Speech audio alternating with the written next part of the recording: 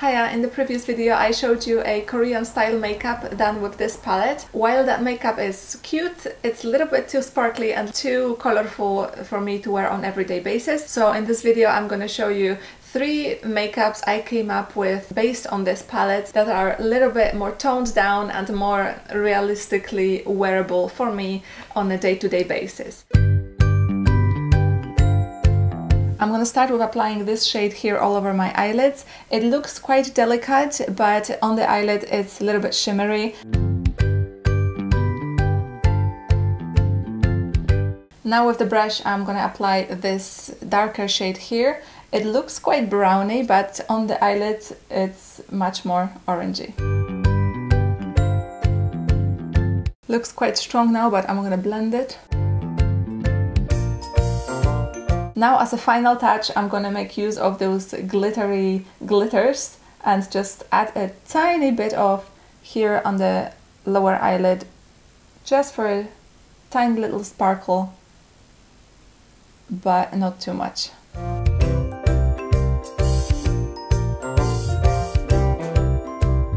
Now just the eyeliner and the mascara and that's gonna be look number one.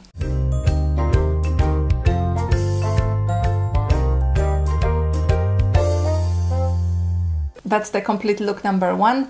In my opinion, is toned down enough for everyday wear. Um, I put two layers of mascara, but if I wanted to go even lower, I can just stick with one layer. And um, I can see myself wearing it to the office when we return, obviously, because we're working from home now. This is the first makeup look from the distance. I think it's pretty and calm enough for a daily wear. My lips are now burning with the chili peppers. Let's move to the look number two now. The second look will be more pinkish in tone. I'm gonna go to the darker shade straight away. I put some powder on my lids as a base.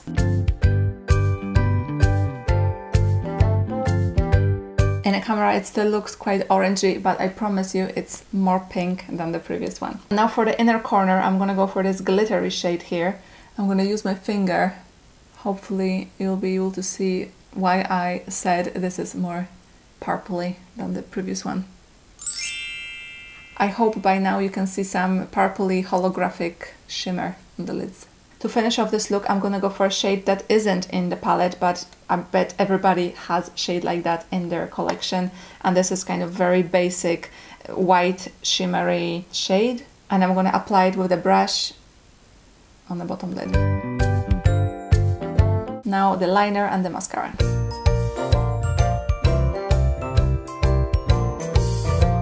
Highlighter.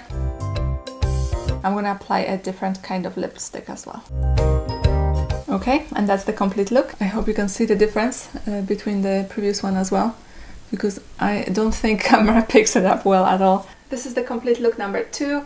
I really like the sparkle. I like that it's a little bit more cooler than the first one. This is probably the closest to what I wear in other videos, so may look quite familiar.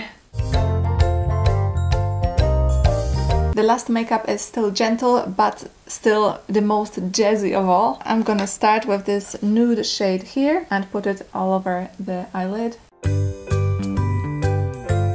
It goes like butter. That's what I really like about those shades. Now I'm gonna go straight for the purple glitter and apply it in the outer corner of the eye and a little bit in the middle as well. It almost looks like you've got nothing on, yet in the right light it sparkles. That's the only two shades I'm gonna use from this palette and now the jazzy bit I'm gonna uh, also use a shadow that isn't included in the palette. It's a purple eyeshadow by Lancome and I'm gonna apply it in the lower eyelid but just in a corner here. It's like barely there. It's almost nothing but again from the right angle you can see tiny bit of purple under your eyes. I'm just gonna finish off with the eyeliner and a mascara and this time I'm gonna use them in black. And that's pretty much makeup number three. I'm just gonna put a lip gloss and that's it. That's the most jazzy, sparkly makeup out of all three.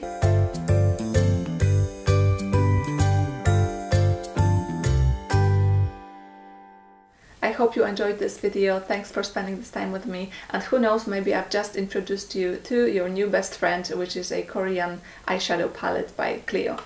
Thanks very much. See you later. Bye bye.